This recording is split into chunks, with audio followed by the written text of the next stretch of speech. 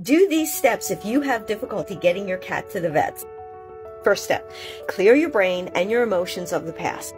Because if you're thinking and feeling of the anxiousness because of the past, the next steps won't work. So just do a couple of deep breaths in through the nose and out through the mouth just to help relax you. Step two, with a calm state, you're going to tell your cat what day the appointment is, what time the appointment is, and why you're going. That's very, very important. They need to know why they're going. In this calm state, you can invite them to go in head first.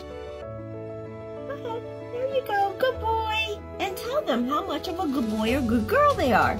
You can also, again in a calm state, put them in the carrier butt first. But your energies have to be at a calm state. Step three, visualize yourself in the car with your kitty in a calm state. Also visualize the vet's office as friendly, helpful, and trustworthy. Your kitty cat will pick up on all of those positive energies.